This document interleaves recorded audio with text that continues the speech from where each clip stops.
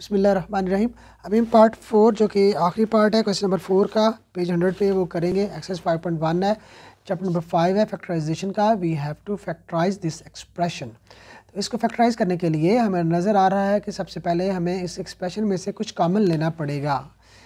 आ, हम इसमें से थ्री कामन लेंगे और इसमें से हम एक्स कामन लेंगे। ठीक है?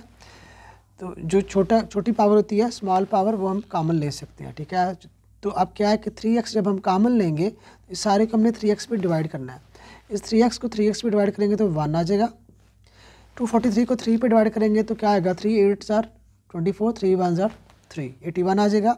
एक्स क्यूब को जब एक्स पे डिवाइड करेंगे तो बाकी रह जाएगा X square this was our first step we just took three X as a common ठीक है?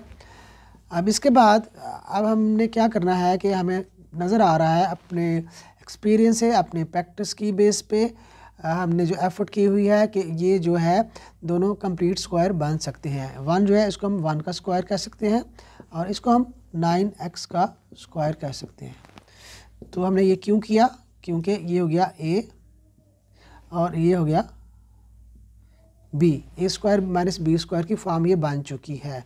और हमें पता है कि A square minus B square को हम लिख सकते हैं A plus B into A minus B. तो इसको हम इस फॉर्म में लिखते हैं A plus B into A minus B. तो कैसे होगा?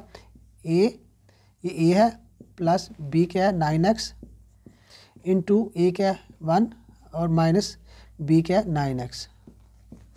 तो ये हमारा आंसर है। हमने टू स्टेप्स में इसको सॉल्व कर दिया। It was very simple and very small part के हमने just with two common three X और उसके बाद हमने उसको फार्मूला की शेप में हमने कर दिया A square minus B square को कर दिया A plus B into A minus B that's it